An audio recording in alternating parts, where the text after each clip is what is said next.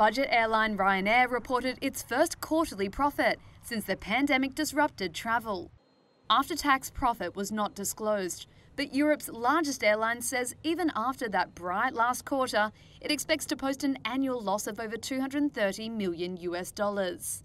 Ryanair also says it will be forced to discount tickets to fill its planes over the winter. The Irish airline says it ran more flights this summer than its European rivals. It says it counted almost 40 million passengers in the past six months. Group Chief Executive Michael O'Leary has said the pandemic offers the best growth opportunities of his three decade career.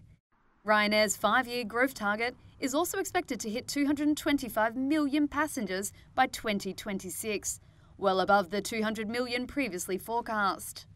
The airline reiterated it expects to return to pre COVID profitability in the year ending March 2023.